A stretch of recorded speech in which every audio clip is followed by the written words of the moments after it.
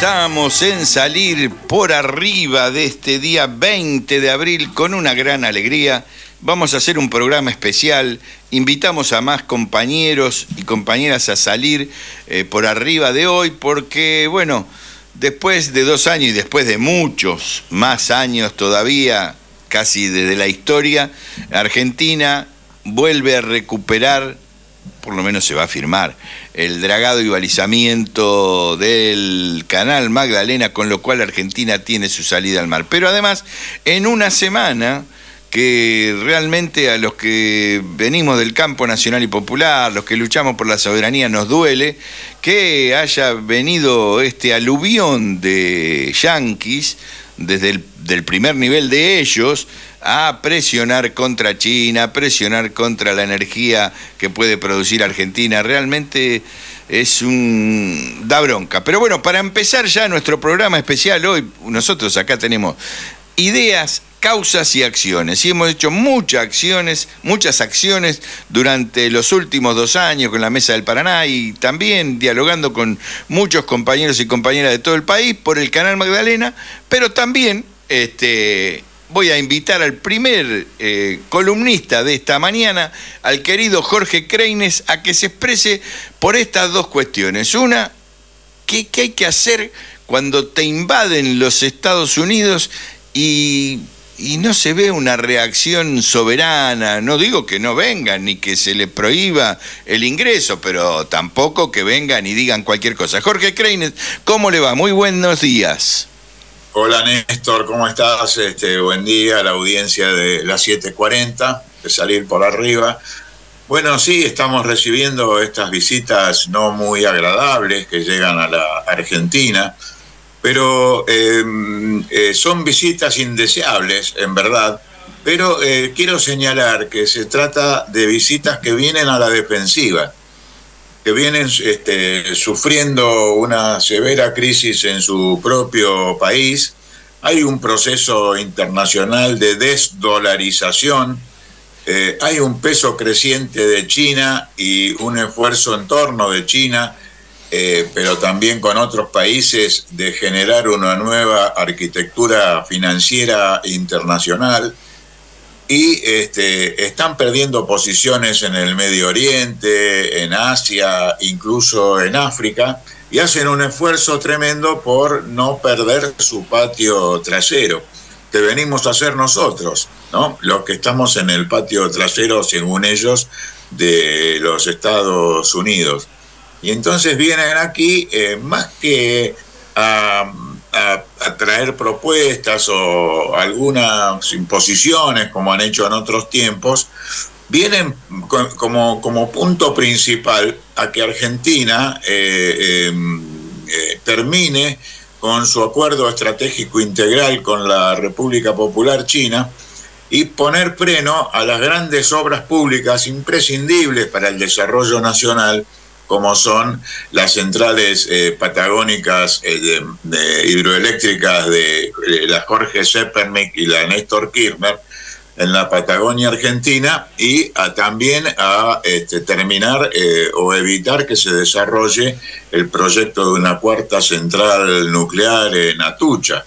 Por lo cual este, nos quieren sostener como subdesarrollados, como países dependientes, quieren evitar a toda costa nuestra soberanía, porque estamos en un, en un globo terráqueo que se ha puesto un poco eh, entre, en, una, en una guerra híbrida eh, entre dos eh, sectores del mundo. Uno es la gran alianza euroasiática, donde está China especialmente, pero hay que decir que también India, Rusia y otros países, de un lado, y del otro lado la tradicional Alianza Atlántica, la OTAN, este, que no solamente tiene una guerra en Europa, tiene una base militar en nuestra plataforma continental, en las Islas Malvinas, muy cerca de nuestro territorio, amenazando nuestra seguridad, nuestra paz y nuestra soberanía. Y acá vienen fundamentalmente a pedir que terminemos esas relaciones con, con la República Popular China. Ahora no se trata de que un país como la Argentina tenga que estar necesariamente asociada a un lado o al otro, este, sino que ejerza su soberanía. Y me parece que la relación con China eh, es una relación que, es de ganar, ganar, es decir, es de beneficio mutuo. No te vienen con la, con la careta del Fondo Monetario Internacional a decirte cuál tiene que ser tu plan económico o a imponerte directamente, como hacen ahora, tu plan económico. Eh, es una relación de, derecho, de derechos mutuos, de conveniencias mutuas, y me parece que es un acto soberano de la Argentina poder cumplir con estos acuerdos. También hay una cantidad de relaciones entre sectores privados, con la República Popular China, con otras naciones, este, que eso no se puede evitar, en los, no lo pueden evitar en los marcos del capitalismo, pero este, vienen a, a, frenar obras públicas, vienen a frenar el desarrollo independiente de la Argentina. Esto es una cuestión. Y miren, por ejemplo, cómo actúa nuestro vecino Brasil desde que Lula está como presidente de ese país hermano. Lula está en, eh, en, Beijing trabajando intensamente, incluso solidarizándose con la Argentina frente a los, eh, las imposiciones eh, que ahogan nuestra economía por parte del Fondo Monetario Internacional. Y ahora Dilma Rousseff es la presidenta del Banco de los BRICS, el grupo de países que conforman eh, Brasil, Rusia, India, China y Sudáfrica. Tenemos formalmente pedido el ingreso de Argentina a los BRICS, hay un acuerdo general con esta posibilidad, se habla de un BRICS Plus o un BRIC más que incorporaría a Argentina y a otros países. Pero este, estamos en una situación donde la presión de estos altos funcionarios norteamericanos y funcionarias que vienen a la Argentina es muy preocupante, especialmente porque entendemos que no hay una, suficiente reacción por parte de las autoridades del país. Creemos que esto, esto, estas visitas, este, bueno, vienen con ese propósito de mantenernos en la dependencia, de mantenernos en esta situación. Eh, parece que otra vez la consigna aquella liberación o dependencia vuelve a estar en el centro de la escena política. Por lo cual, este, y, y, una particularidad, ¿no? ¿Quién vanguardiza todo esto? Porque vienen funcionarios del Departamento de Estado, funcionarios del, de, especializados en la cuestión nuclear para que no se construya la, cuarta central atómica acá en la Argentina, pero la que lidera todo esto es la generala eh, Laura Richardson, que es la jefa del Comando Sur de los Estados Unidos, que es un organismo desde el punto de vista del derecho internacional, es un organismo ilegal porque tiene atribución fuera del territorio de los Estados Unidos. Sí, sí, sí, hay que ser muy claros con eso. Comando Sur. Comando Sur de Estados Unidos, no, para ellos Comando Sur es Latinoamérica, es una cosa...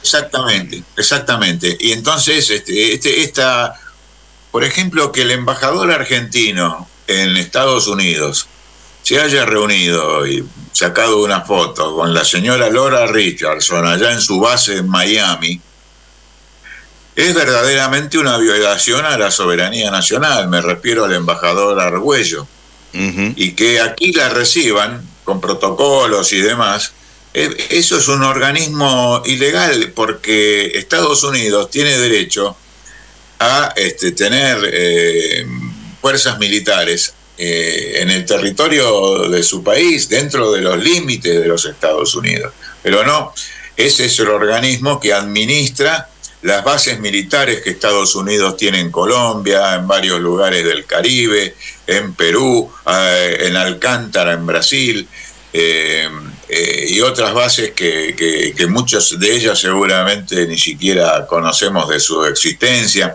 porque pueden ser bases de intercepción de, comunicaciones, que con una pequeña oficinita, pero una pequeña oficinita militar de espionaje, de seguimiento, de intercepción, como decía, de comunicaciones, puede ser este... Eh, que no ni siquiera tengamos noticia de todo esto.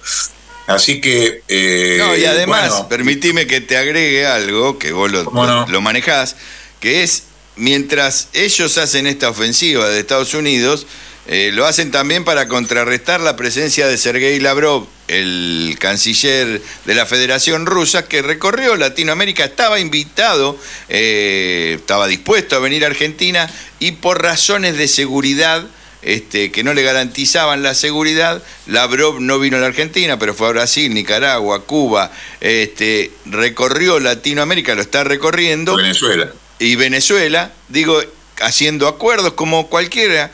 Y Brasil, que lo recibió, que Lula estuvo en China, fue también sancionado simbólicamente por Estados Unidos diciendo que había perdido la posición de neutralidad con respecto a la guerra de la OTAN contra Rusia. O sea, no se bancan nada. Este, es demasiado desde el punto de vista de la batalla cultural, que siempre sabemos entraña otras cuestiones, y en Argentina con el tema Malvinas, este, muy, muy grave. Eh, ya tenemos, si me permitís, si te querés quedar, eh, Jorge, a Pedro Peretti, uno de los voceros populares de grandes causas como es la causa del canal Magdalena, que hoy a la mañana firma finalmente Alberto Fernández con el gobernador Kisilov, Axel Kisilov, que se puso a la cabeza del funcionariado argentino y de los gobernadores este, de esta demanda popular de que se abriera y se licite el dragado del Canal Magdalena. Pedro Peretti, ¿cómo te va? Muy buenos días, un gusto recibirte. Creines, Picone, Federico, te saludamos. Un gustazo, un gustazo y felicitaciones, Picone, felicitaciones a vos y a todos los compañeros de la Comisión Nacional de Defensa de la Soberanía del Paraná, a Melpo, a Luciano Orellano, a, a Urien, a Tetamanti, a todo, a Polidoro. Al capitán Oscar Verón. A Verón, al capitán Verón, a todo, todo. La verdad que hoy un día de fiesta para quienes integramos esa comisión y todo lo que han hecho ustedes. Yo he hecho muy poco, pero ustedes han hecho muchísimo y han militado mucho esa causa nacional, popular y estratégica para la soberanía argentina. Así que felicitaciones. No, eso gracias, y, pero es en el camino de la unidad, porque hay, vos lo sabés, en medio de la pandemia surgieron muchos movimientos, frentes por la soberanía, todos siguen vivitos y coleando, pero lo que hizo la mesa es tratar de unir todas las voluntades en un puño y bueno, y se lograron estas cuestiones entre todos. Pero bueno, contanos cómo, cómo vivís esto, vos seguís de cerca todas las cuestiones que tienen que ver con soberanía. dame tu reflexión con respecto a esto que va a pasar hoy en pocas horas. Y mi reflexión es que Axel Kicillof es un cuadro estratégico del campo nacional y popular realmente es el único que lo ha visto desde lejos el problema, se lo ha tomado como propio y, ha firmado y ha logrado que se firme esto que eh, venía muy muy muy complicado para firmar, ojo, es muy complicado. Eh, yo me acuerdo bien, porque he estado del principio, eh, el Poder Ejecutivo no quería hacer nada. Eh, y, no, sacó un decreto, el 949, a favor de que se trabajara con el canal de Punta Indio camino al Uruguay, ¿no? Camino a Montevideo. es, es una cosa inexplicable, desde todo punto de vista. Primero, que la Argentina no tenga soberanía, vos lo contás y nadie te cree. Si como país del Paraná al Atlántico, como, es, increíble. Hay que ir a Montevideo y puede volver. Además que te planteen eso, que además es más caro, más largo y más costoso, que lo pagan los productores agropecuarios y la mesa de enlace defendiendo el canal Punta Indio junto con los puertos. Es una cosa inexplicable. Digo, cuando se escribe el reino del disparate, pero estas cosas tienen que quedar registradas, tienen que quedar escritas. Puede creer. Y yo conozco los chicos que fueron a hablar a favor del canal Punta Indio en un seminario organizado por qué? Por el Partido Socialista, por Lichi por el fallecido ex gobernador de Santa Fe, defendiendo el puerto de Montevideo, un socialista. Digo, no, no, es un dislate por donde se lo mire. Socialista defendiendo el puerto de Montevideo. Representante de los pequeños productores que tienen 10, 12 hectáreas hablando en favor de los puertos. La mesa de enlace hablando de favor del flete más largo y más caro que lo terminan pagando los productores y la Argentina que no tiene soberanía. Eh, buscar un dislate semejante en algún otro lugar de la política argentina, internacional, ultra mega mundial y planetaria. No lo hay. No, no lo hay, porque el país más pobre defiende eh, los pasos que tiene terrestres, marítimos, para por lo menos cobrar los peajes. Acá no cobrábamos ni el peaje en el Punta Indio y se imposibilitaba, digo, a la cabeza de esto estaba la Bolsa de Comercio de Rosario, que vos bien conocés, Pedro, este, dirigiendo todo para que el extractivismo funcione al mango, que ellos metan los barcos que necesitan profundizar el dragado hasta donde sea, por Montevideo para que no haya ningún tipo de control y nosotros nos perdemos la salida al mar. ¿eh? Esto, esto es una cuestión de, sentido común que hay que darlo vuelta y creo que hoy comienza a darse vuelta y hay que decirlo, lo de Kisilov fue, eh, no quiero decir heroico, pero fue muy importante porque los gobernadores estaban dudando sobre la hidrovía, a ver cómo, cómo se acomodaban con el decreto 949 y él dijo, no, acá hay que abrir el canal Magdalena y hace un año que se puso eso eh, sobre los hombros, nos recibió en La Plata a la mesa y dijo, no, no, el canal Magdalena lo tenemos que hacer y fue ganando posiciones entre los gobernadores porque a los propios gobernadores argentinos les sirve, porque lo que se produce en el norte puede llegar al sur sin ir al Uruguay. Digo, es, es, muy, muy clarita esta posición. Menos kilómetros, menos gastos, se ayuda a que Punta Indio, La Valle, la zona de San Clemente este, pueda tener un desarrollo económico más importante. Digo, hay mil razones, pero bueno, este, queríamos tener tu palabra, Pedro.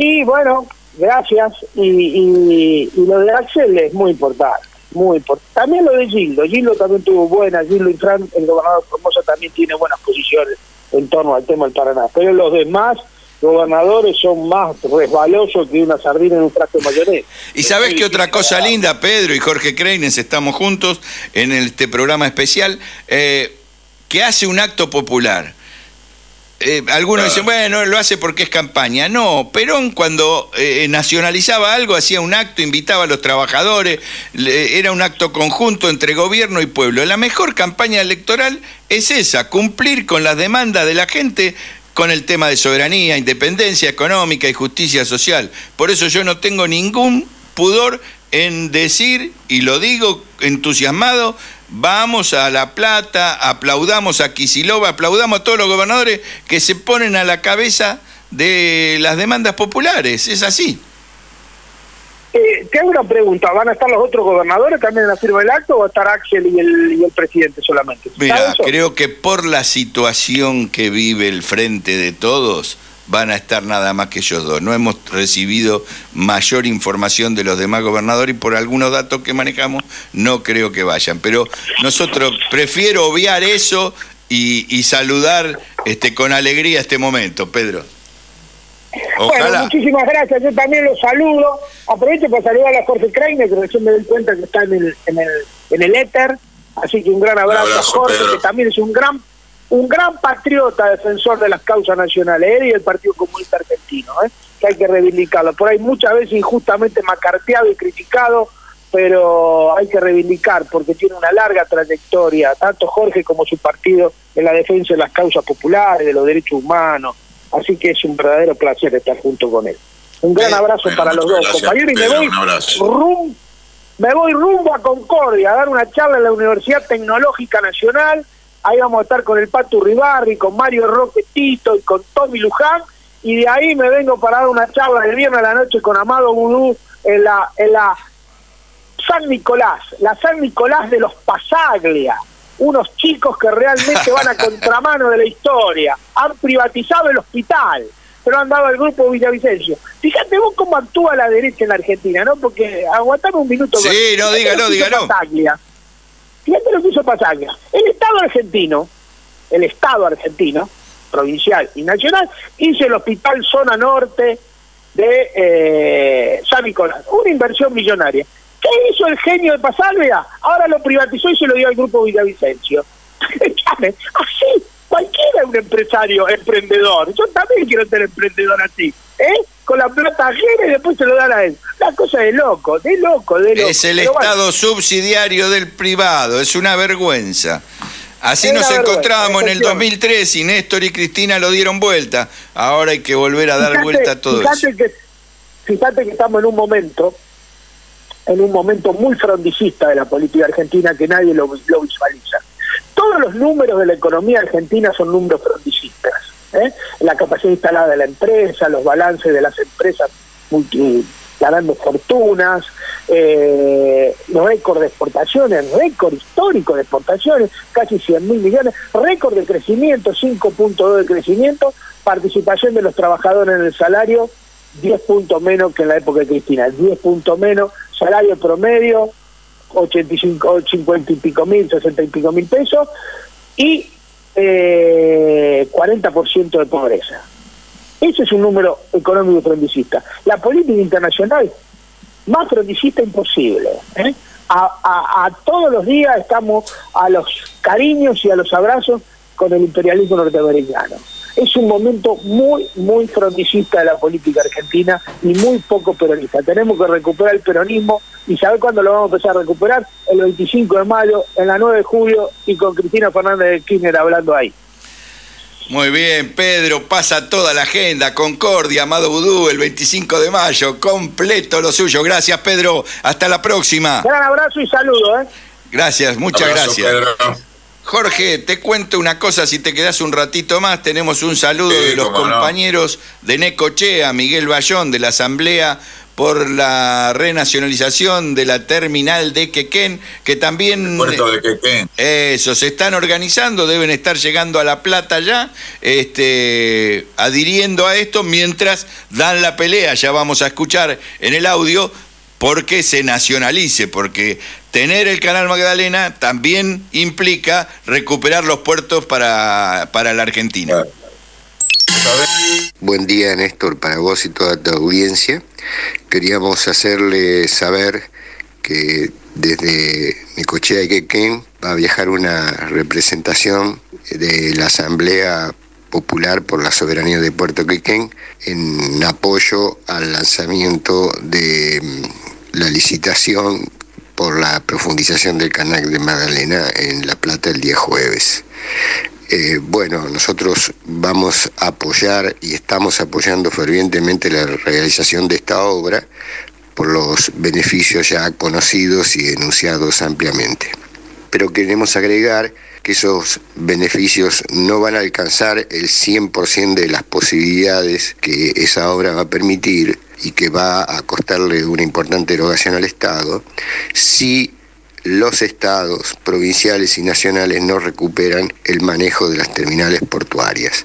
Si el Estado argentino no recupera el manejo del comercio exterior de granos, los que van a usufructuar de los beneficios de ese esfuerzo del Estado por tragar y mantener el canal Magdalena van a ser las multinacionales extranjeras. Y como aquí en Puerto Quequén está próximo a vencer el plazo ya de licitación de la concesión que se le otorgó a Terminal Quequén, hoy en manos de exportadoras extranjeras, nosotros estamos planteando que eh, nuestro país tiene la posibilidad de recuperar el comercio exterior, recuperando esa terminal y eh, evitar así este, la fuga de importantes cantidades de divisas y evasiones fiscales.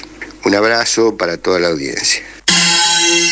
Pasaba Miguel, Mayón, Miguel Bayón, quien está en camino junto a el Turco Dajul y toda la banda de Necochea, que también nos hemos unido en la defensa del Paraná, el Canal Magdalena y por supuesto este puerto. Una reflexión tuya, Jorge, estamos con Jorge Creine y viste qué lindo esto que dijo Pedro Peretti a mí me da mucha alegría. Jorge Kreiner, reconocido por lo suyo, pero por integrante del Partido Comunista, que lo decimos con muchas ganas en este programa. Adelante, Jorge.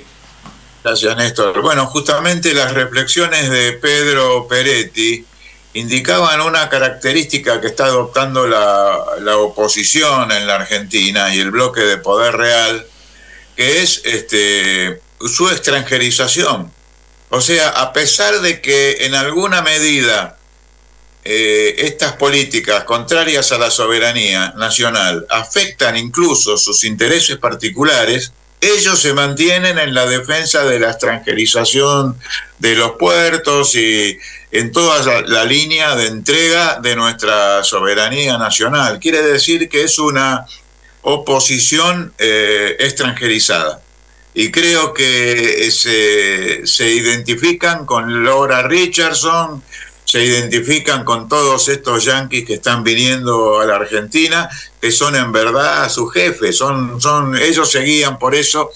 Y después tenemos muchos, y acá se hacía referencia a los gobernadores y a otros eh, funcionarios nacionales, que este, a veces eh, temen, eh, unos por ideología, porque, porque piensan que el país tiene que seguir dependiente en la órbita de lo que los norteamericanos llaman el hemisferio occidental, y este, incluso eh, que han planteado la entrega misma de las Islas Malvinas, como hizo Patricia Bullrich en alguna circunstancia. Este, y, y, no pensar en, una, en un país independiente en el marco de una unidad latinoamericana y caribeña que está al borde de constituirse en una fuerza real, porque me parece que si Lula se sostiene en esta línea, junto con Petro, con Maduro, con, con, este, con eh, otros dirigentes latinoamericanos, ni hablar este, con, con Díaz Canel, con Daniel Ortega, en fin, eh, con el nuevo presidente pro tempore de la CELAC, que es eh, Ralph González, por primera vez un caribeño anglo, angloparlante este, en estas líderes de la unidad latinoamericana, me parece que este, esto muestra qué tipo de oposición tenemos en la Argentina y qué tipo también de eh, funcionarios que son del oficialismo pero que este, tienen temor o, su ideología no les permite avanzar en la dirección de la soberanía. Eh, yo rescato ahora lo de Axel Kisilov como un acto de valentía. Yo sé que hay muchos que este, están temiendo que no les vaya a pasar lo que le pasó a Vudú después de que él nacionalizó los fondos de jubilaciones y pensiones hay que recordar esto, ¿no? Este, cuando uno ve que lo persiguen a Vudú, que está inhabilitado para el ejercicio de cargos públicos, que estuvo preso, esto tiene que ver con que Vudú fue el alma mater de la nacionalización de los recursos de las AFJP que estafaban a los jubilados y a través de ellos a toda la República Argentina. Entonces, este, bueno, hay muchos que no son valientes como Vudú o como Kisilov, y no se atreven porque no quieren que le caiga encima las siete plagas de Egipto. De manera que es necesario en el día de hoy y en adelante apoyar estas medidas porque eh, son medidas de soberanía y no tenemos demasiadas medidas para apoyar. Eh, y estamos en un momento en que el país se define por la vía electoral y hay un peligro cierto de perder. A veces uno ve a algunos funcionarios este, y se pregunta, pero este trabaja para ganar las elecciones en octubre y que no vuelva este, esa derecha antinacional y antipopular, eh, que no vuelva Bullrich, que no vuelva Macri, que no vuelvan todos estos, eh, la reta, o trabajan para, este, para perder con ese asunto manido de la alternancia. Entonces, eh, bueno, hay mucha preocupación en el pueblo argentino, mucha desazón. están las movilizaciones a favor de los derechos de Cristina Fernández de Kirchner para, para, jugar este, en la política argentina con todo, con la, en la plenitud de sus facultades. Está esta, esta pequeña gran victoria que ustedes han logrado desde la Mesa del Paraná y desde todo el movimiento por la soberanía nacional y este, me parece que nos tenemos que agarrar de ahí para ir fuerte en defensa de los intereses porque tenemos patria, tenemos patria. Así que lo de liberación o dependencia vieja consigna del pueblo argentino me parece que está otra vez a la orden del día, Néstor. Gracias, Jorgito. Nos vamos a una tanda si te querés quedar. Después viene Pepe Batela, va a estar eh, también Mempo Giardinelli, estamos buscando a Tetamanti, porque este es un triunfo que hay que celebrarlo más allá de todas las cosas que están pasando y que puedan pasar. Porque lo que quiero destacar es esto, hay valentía, hay apoyo popular, hay un acto popular para afirmar un hecho que hoy no es tapa de los diarios, pero para nosotros la noticia principal. Eh, la posible la inmediata inauguración del Canal Magdalena. Enseguida volvemos, oyentes.